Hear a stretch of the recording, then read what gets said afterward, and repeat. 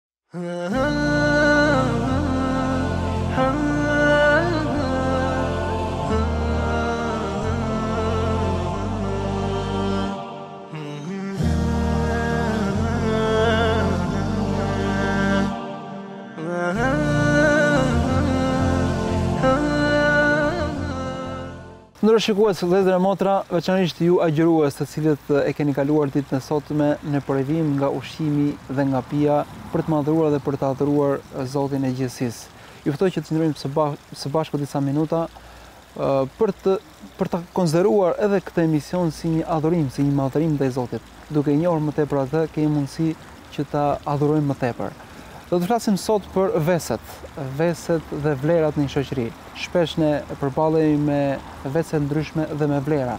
Vlera ku duam të aderojmë dhe drejt cilave duhet të shkojmë, mirëpo shpesh jemi konfuzë dhe nuk dimë si t'i emërtojmë. A janë vlera, a janë vese?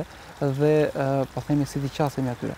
Për të kuptuar më drejtë këtë temë, do të jemi sot me hoxhën e nderuar Sabaudin Jashari. Por selam aleikum mirë se vini. Aleikum selam wa rahmetullahi wa barakatuh. Mirë se ju gjetëm sërish. Por ne edhe bashkë kemi diskutuar që duke qenë se jemi një shoqëri post tranzitore, si të thuash, shpesh gjendemi në konfuzitet se ku të orientohemi, cilat janë vlera, vlerat reale, cilat na e mundësojnë një jetë sa më të këndshme dhe sa më të begatë. Dhe pyetja ime është, po themi,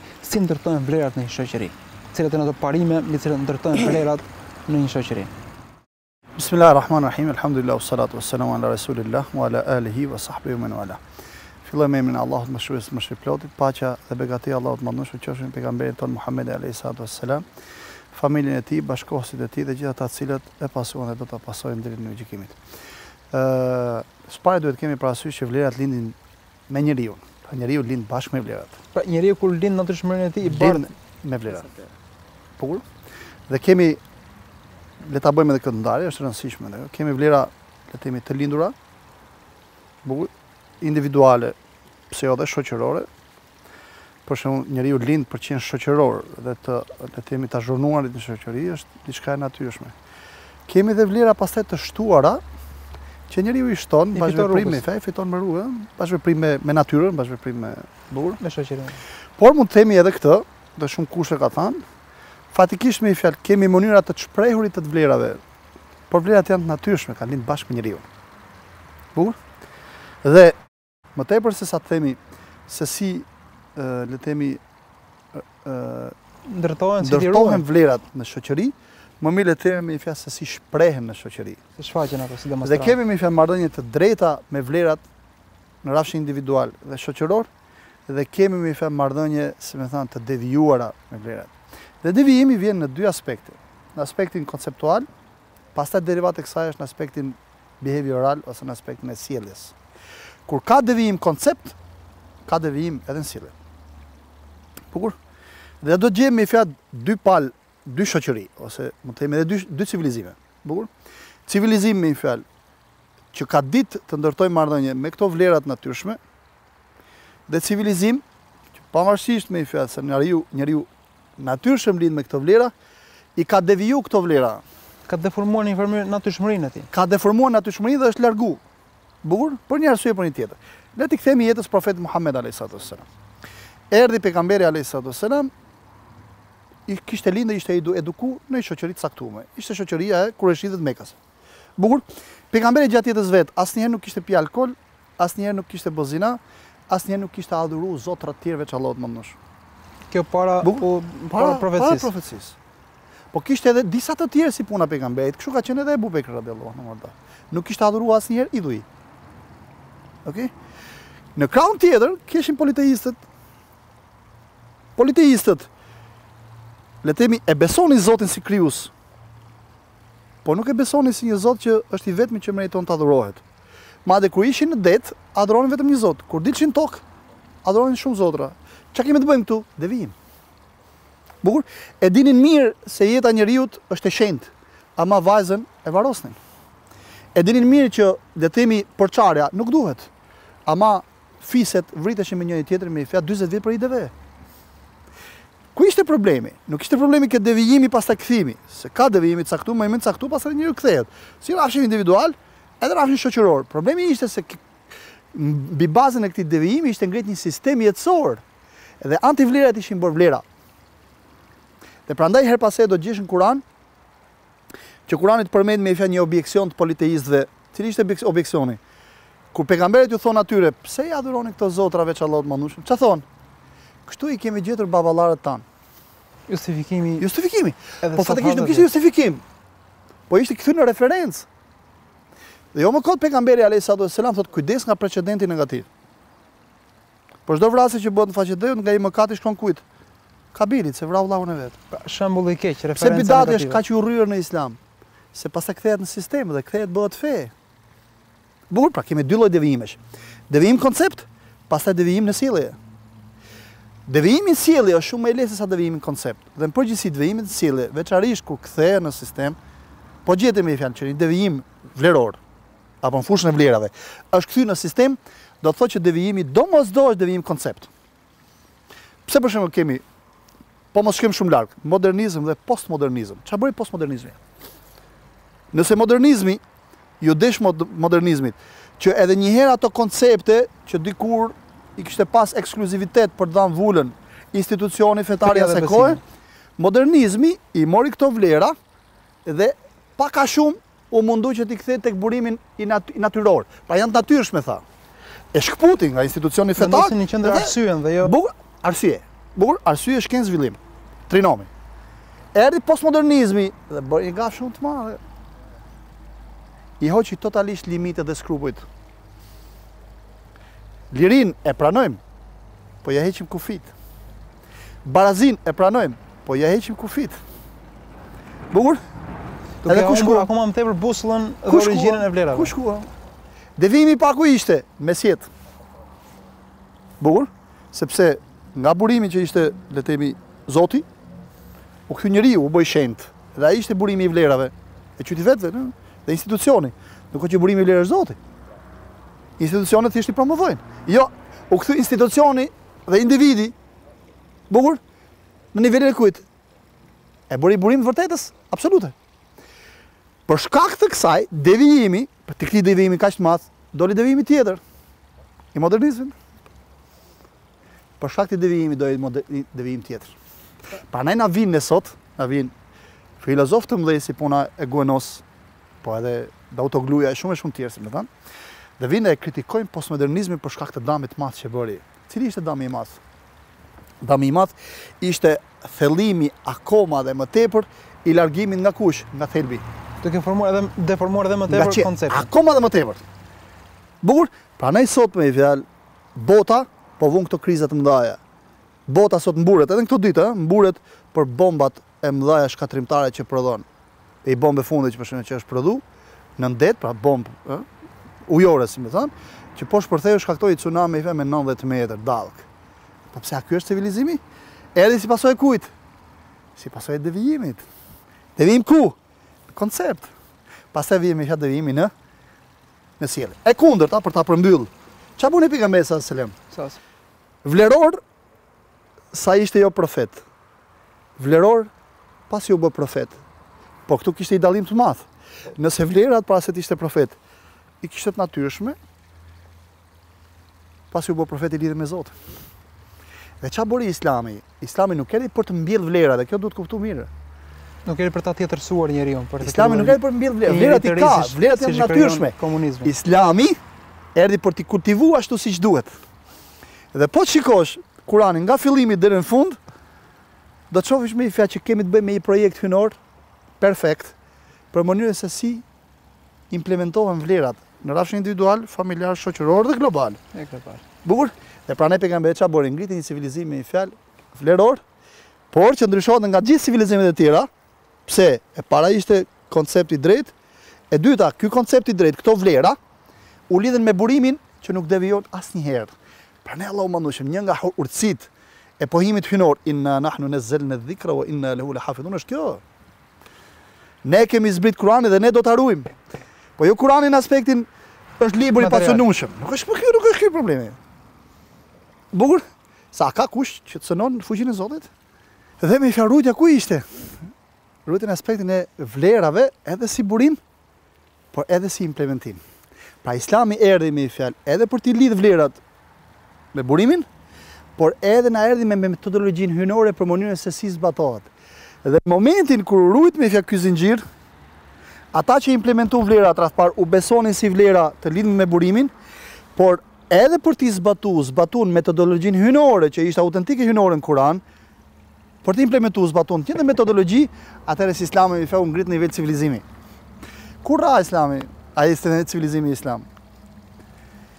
Kur vlerat i shkëputën nga Zoti, u devijua burimi. Burimi i vlerave. Ëh? Pastaj natyrshëm devijoi me një fjalë edhe në përjetim dhe në implementim. Dhe më kujtohet një deklaratë e një austriaku, mik i ngushtë i Perandorisë Osmane, Kur Perandoria Osmane nga fundi i saj filloi një imitim, pra, Perandoria Osmane dimë gjithë ne vlerën e Perandorisë Osmane dhe drejtoi gjithë botën Perandoria Osmane. Dhe mund të themi që Perandoria Osmane ka qenë kulmi i arritjes së civilizimit islam në faqe të dheut. E drejtoi botën me një fjalë, kishte arrit aty ku s'kishte arrit kush. Sa që shumë mendimtarë thanë që Sulejman Kanuni është Aleksandr, ai, si me thënë, Dhulkarneni. E rëndësishme. Nga fundi i perandorisë osmane çfarë ndodhi? Pra Kurani dhe Sunneti ishte burimi kryesor i civilizimit osman. Nga fundi i perandorisë osmane, edhe për shumë arsye të tjera më filloi burimi i vlerave, po edhe Kurani dhe Sunneti po. Po të marrim pak edhe këne nga nga bota që sa ka fillu zhvillohet. Po duke mos qenë referencë të plotë Kur'ani dhe Suneti, po duke kjo na thotë një nga mendimtarët bashkëkohorë, Sejid Kutbi Zoti e mëshiroftë. Thotë një nga cilësitë kryesore të brezit të parë sahabëve kush ishte? Se e shikonin Kur'anin dhe Sunetin si burimin absolut të vlerave. Jo se s'kishte burime tjera dijesh në atë kohë. Kishte sa dush. Kishte dy civilizime të mëdha. Persët dhe Bizanti. Por ata e panë vetes të mjaftueshëm se kishin boll Kur'anin dhe Sunnetin. Po jo në aspektin e verbër. Jo në aspektin e verbër. Ata e shihnin Kur'anin si burim civilizimi, jo thjesht si burim të përkushtimit personal. Edhe kaq. Jo, ata e shihnin Kur'anin si burim civilizimi ndër ndërkombëtar. Edhe me Kur'an ngritën civilizim. Ato dit që devijuan nga ky raport. Dhe kishte prej sahabeve që njifshin mirë Persët edhe edhe Bizantin i njifshin shumë mirë. Çfarë ndodhi në Perandorinë Osmane? U deviu burimi. Po pa më pak e kënaqë. Po ku ishte problemi? Nuk ishte në aspektin empirik, shkencor. Jo në aspektin e arritjeve teknologjike, sepse thot Pejgamberi el hikmatu dalletul mu'min. Urtësia është çështje në kërkim së cilës vazhdimisht është muslimani. Kudo që ta gjen duhet me e marr. Po ishte problemi ku? krijim ose kërkim referencash të reja në aspektin vleror, ndërkohë që kishte boll Kur'ani. S'po i mjaftonte Kur'ani tradita profetike. Kjo erdhi si pasojë kujt? E para, harrimi i faktit që Kur'ani është i bollshëm, ka boll vlera si me thën, dhe e dyta ndjenja e inferioritetit që erdhi si pasojë e të parës. Edhe ky austriaku i shkruan një letër parisë osmane atëherë. U thotë ju shof që keni marr shumë, keni shumë tendenca këtej. Thot merrni thot, po edhe lini. Merrni arritjet teknologjike, merrni arritjet teknologjike që ka bërë. Po merrni për t'i kuptu, jo thjesht për t'i marrë, për t'i ble dhe me... Vëdhën? Pra kur të vish ta marrësh plugun këtu në Austria ose në Gjermani, merre për të punu tokën, po nis e kupto me një fjalë njëkohësisht se si bëhet që ta bësh dhe ti vetë. Për t'i shërbyer vlerës. Dhe jo thot, mos hajdeni thot merrni vlerat, se i keni vlerat tuja. Dhe civilizimi juj me një fjalë që është ngritë mbi ato baza, Nuk mund të miksohet me vlera tjera, se i ka vlerat e veta. Dhe në momentin që do mundohesh të implementosh vlera tjera, ti e ke shkatrru punën tande me dur tuja, vlerat tuja me vlerat bur. Dhe kjo që po përjetojmë, dhe po përjeton sot bota, ku është problemi kryesor? Problemi është me një fjalë devijim ekstrem nga burimet e vlerave. Po jo vetëm nga Kurani dhe dhe tradita profetike, po dhe nga natyrshmëria. Dhe dhe ndërkohë jemi përballë një fakti të rëndë që kemi po themi kohë ku dikur kanë qenë vlera disa cilësi dhe tani janë antivlera dhe e kundërta. Dhe shpesh jemi përballë situatave ku nuk po dim diçka ka qenë vlerë dikur, por nuk është më. Ndërkohë, cili është etaloni matës? A kush është ai që e përcakton dhe po themi e ndan në një shoqëri? se çka është vlerë dhe çka nuk është vlerë. Një përgjigje kësaj pyetje mund ta gjejmë edhe te kjo që shpjeguam pak më sipër. Vlerat nderi më i madh që i bëri Islami njerëzimit është se i dha burimin e vlerave. Madje edhe atyre që nuk i besojnë Kur'anit dhe Sunnetit, u dha siguri në vlerat e tyre që kishin.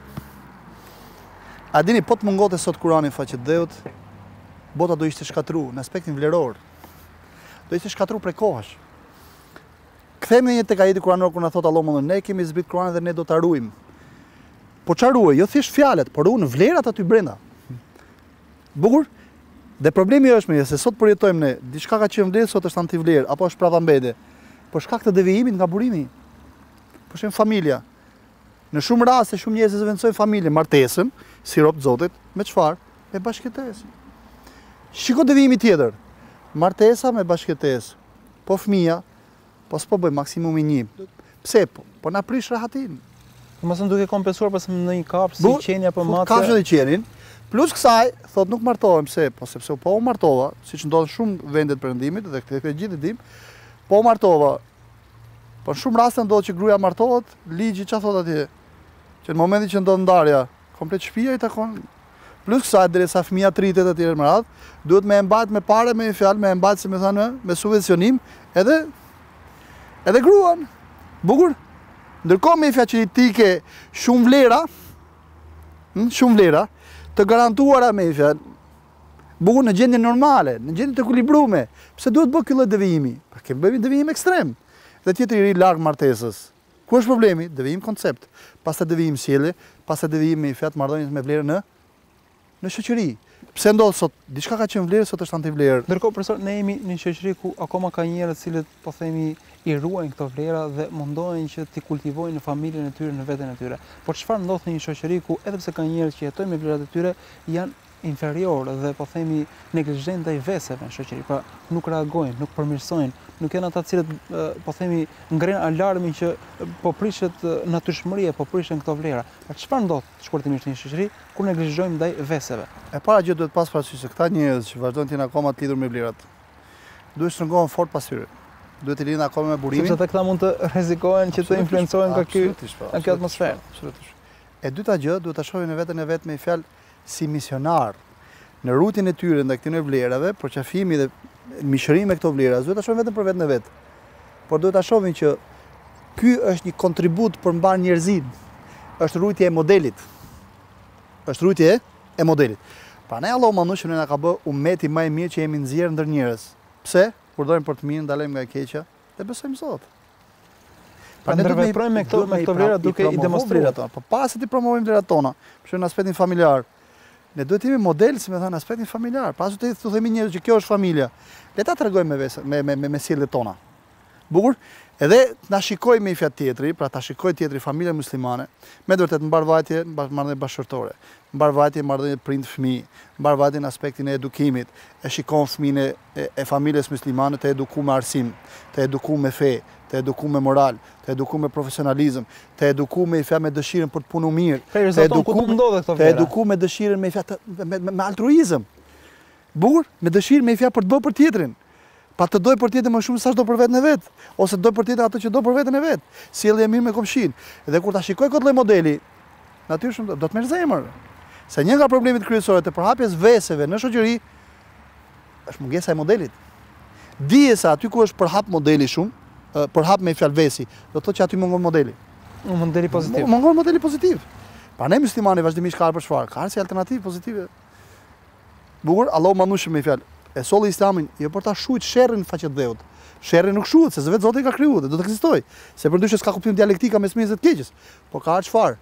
të krijojë modelin islami ka të krijojë modelin e mirë dhe t'jetë dominant muhejmin ë muhejminen alejhi dominant me ta pa njerëzit me fjalë dhe ata që humbin rrugën të dinë se ku kthehen ke shumë prej njerëzve që e kanë humb rrugën nga burimi duan me u kthy se nuk e lenë natyrshmja ku është modeli pyet natyrshëm dhe në momentin e vazhdimisht kemi raste të tilla dhe jo thjesht për qenë optimist në momentin që gjej modelin menjëherë kthehet Kthehet, sepse e thret edhe natyrshmja vet. Edhe po në momentin që kontakton me modelin thot, po nga vjen kjo kjo sjellje e jotja, ky model i jot nga buroti, do i thush ke Zoti. Dhe bëhet se kjo me fjalë që dhe ai shkon tek Zoti. Ndërkohë, profesor duke qenë duke qenë se jemi në përfundim, shohim edhe një model tjetër, modeli i personit i cili po themi shfaq vlera, por se këto janë vlera cilat kanë një farë interesi, kanë një farë benefiti. Dhe në momentin që përfundojnë këto benefite dhe këto interesa, atëherë menjëherë zbehen këto vlera. Si, si ta ndajmë nëse vlerat janë interes, apo janë, po themi, parime të brendësuara. Natyrshëm, kjo e para ndodhë me fjalë kur njeriu, si me thanë, ose nuk din, ose nuk e ka shiju, ç'do thotë hatri i Zotit. Pse na thotë pejgamberi alayhi salatu selam? Si me thanë, kush i ka shiju tre gjëra, ose kush i ka tre gjëra, e ka shiju me një fjalë shijen e besimit.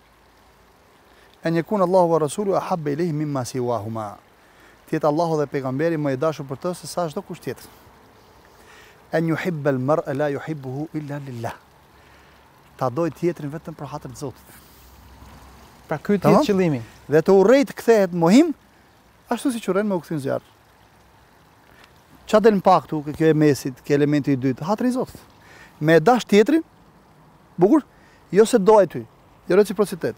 Me e dash tjetrin, jo se ke interes, po me e dash tjetrin, se ka thënë Zoti me e dash. Interes sublim. Se është robi i Zotit, bukur, është qenje e shenjtë tek Allahu xhelle shanuhu, e ka krijuar në formën më perfekte, e ka sjell për një qëllim madhor. Shto diçka tjetër shumë të rëndësishme, është besimtar si puna jote. Pra e thot pejgamberi sa selam la yu'minu ahadukum hatta yuhibba li akhihi ma yuhibbu li nafsi. Nuk e don me fjalë, nuk ka besim plotë asnjëri prej jush, derisa doj për vëllaun e vet atë që don për vete. Ky motiv, që pra që është hatri i Zotit, e bën njeriun që ta bëjë të mirën pse është e mirë, pse e ka thënë Zoti me e bo. Jo se ka një interes. Përkundër, Innema nut'imukum li vexhhil-lahi. La nuridu minkum xhezaen ve la shukura. Ju ushqejmë për hatër të Zotit. Pra e bëjmë të mirën për hatër të Zotit. Nuk dumë as falënderim, as shpërblim. Kur ndodhi shpifja ndaj Aishës radiallahu anha, ve erdaha, një nga personat që e përgojoi Aishën, ishte kushëriri i Ebu Bekrit, babait të Aishës, radiallahu anhum exhmain. Tashi kushëriri i Ebu Bekrit, bukur, përgojon Aishen, që Aishja radiallahu anha ishte gruja e pejgamberit alayhi salatu wasalam. Dhe Ebu Bekri kur e mori vesh u mërzit, kushëriri, përveç kësaj u mërzit për një gjë tjetër. Ebu Bekri kishte investu tek Mistah ibn Ethathe me vite e kishte mbat me bukë atë dhe familjen e tij. E thotë që është e natyrshme, ç'është kjo mosmirënjohje. Ç'është kjo mosmirënjohje. A vëzëm? Dhe tha Ebu Bekri u betu. Tha për zotin, tha s'ke me ma pa hajrin ma. Menjëherë zbriti ajeti kuranor tek surja Nur. La je'teli ulul fadli minkum ves-seati dhe në fund të ajetit kuranor. Njerëzit fisnik dhe njerëzit bujar, njerëzit që janë mësu për hatër të zotit, mos heqin dorë nga bamirësia e tyre. A nuk doni që t'ju falë Zoti juve? A nuk doni që t'ju falë zotit? E kuptoi Ebu Bekri se për kë bëhesh fjalë. Dhe çfarë tha? Bela ja rabbi, bela. Po si o Zot, po si. Reflektoi menjëherë. Menjëherë. Let... Edhe u kthy prapë, ke kush? Iu kthye vlerës. Prapë iu kthye vlerës. Dhe le të mjaftohemi me këtë... Kishte stabilitet. Me këtë, po themi me këtë model, sepse ju thatë që modelet janë ato të cilat na motivojnë dhe na bëjnë që të kthehemi, se shpesh jemi njerëz dhe... Dhe nuk mund të ketë modele stabile, vetëm se tek burimi, nëse janë të lidhur me burimin e përjetshëm. Zoti ju shpërbleftë. Edhe ju, falem Nderuar miq, këto ishin minutat e emisionit të sotëm dhe ku më shumë se në këtë muaj duhet të shfaqen vlerat, vlera të cilat në këtë muaj na ndihmon dhe agjërimi, na ndihmon, na ndihmon dhe muaji i Ramazanit. Le të dalim nesër me, me vlerat hyjnore, me vlera të cilat po themi motivohemi nga shembulli i profetit alejhi selam. Lusim Zotin që të jetë muaj i begatë dhe muaj plot vlera, me të cilat i gjithë viti më vonë do të jetë i tillë. Zoti ju shpërbleftë dhe mirë u takofshim. Selam alejkum.